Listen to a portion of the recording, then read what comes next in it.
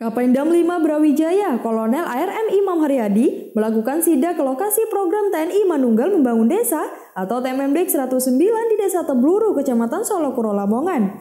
Sidak kali ini Kapendam melihat finalisasi program Jalan Rabat Beton dan pembangunan rumah tidak layak huni atau RTLH.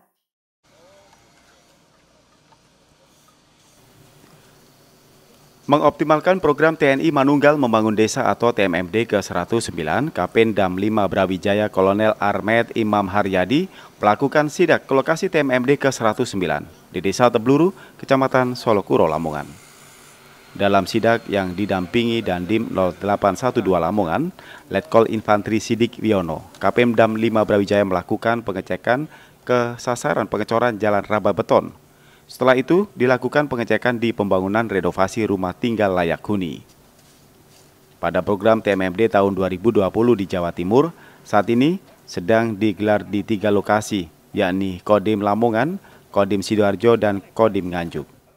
Tahun ini kita ada tiga kegiatan TMMD, 107, 108, dan 109. Di TMMD ke 109 sini kita kembali menggelar di tiga tempat yaitu yang pertama di Kodim Lamongan, kemudian Kodim Sidoarjo dan Kodim eh, Nganjuk. Ada beberapa kegiatan yang kita laksanakan seperti biasanya kita menyentuh hal-hal yang mendasar, kebutuhan mendasar dari masyarakat, kebutuhan sosial mendasar itu yang kita sentuh.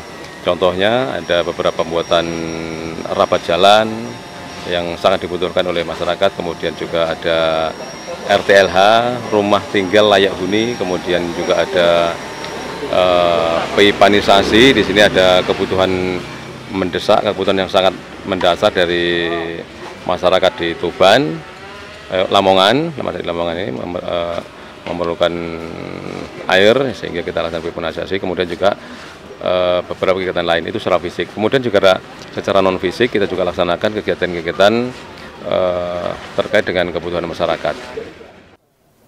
Program TMMD ke-109 di Desa Tebluru, Kecamatan Solokuro, Lamongan, semua program yang dilakukan sangat bermanfaat untuk masyarakat setempat.